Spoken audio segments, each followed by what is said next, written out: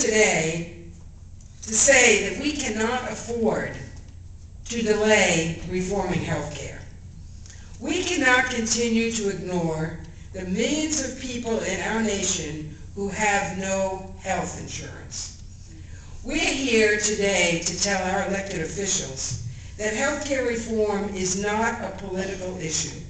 It's a moral issue. Some people say that we have the best health care system in the world. Well, that is simply not true.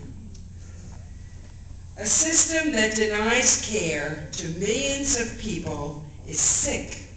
Amen. And we cannot allow ourselves to think that some people don't matter. Right. We are one in this country, and therefore everyone matters, everybody counts, and we cannot allow anyone to be left out.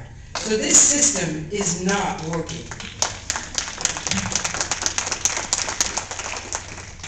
You see an ad on television sometimes, they ask, uh, when you're depressed, who hurts? What happens? Well, everybody hurts. So I want to say, the healthcare system today, everybody's being hurt by this. But I want to talk about women. And I was thinking about, you know, there are many people that get hurt.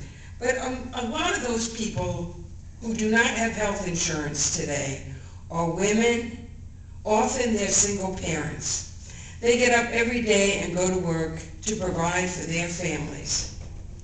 And they have no health insurance. So if they begin, excuse me, if they begin to feel ill, they have low energy, they can't afford to go and get checked out.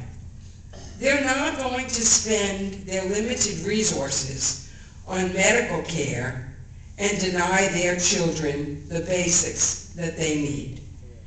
These are the people who wind up chronically ill far too early in life. These are the people who wind up terminally ill because they didn't have care. These are the people who wind up because of their illness, losing their job, losing their home, and yes, losing their life.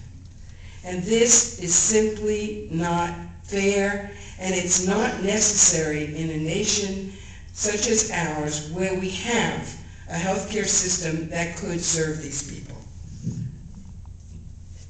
Now, it doesn't really matter whether you're black, Asian, Native American, Hispanic, white.